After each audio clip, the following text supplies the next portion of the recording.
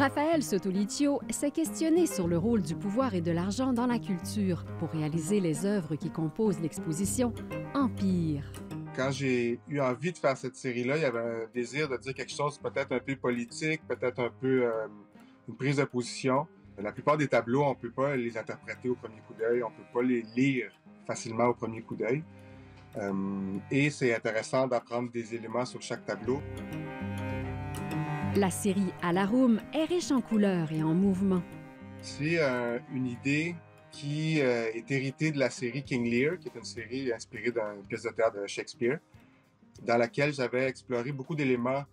J'avais transposé des éléments de la pièce de théâtre euh, dans un imaginaire complètement différent, un peu déjanté.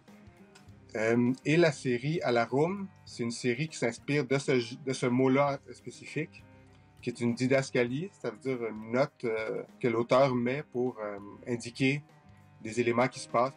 À la room, ça indique une espèce de brouhaha ou euh, du bruit à l'extérieur. Le tableau intitulé L'art de la disparition est la dernière œuvre qui a été faite pour l'exposition.